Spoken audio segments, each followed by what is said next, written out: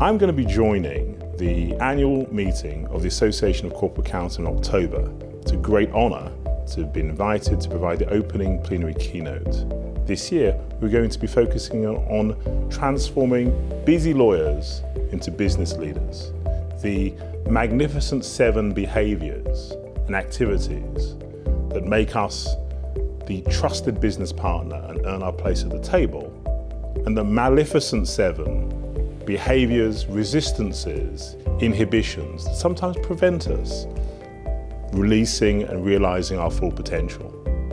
Given that so many of these patterns of behaviour and successful paths towards improvement are common to our shared experience and individual experience as practicing lawyers, I'm really hoping that the keynote will be an impactful experience for everybody who attends.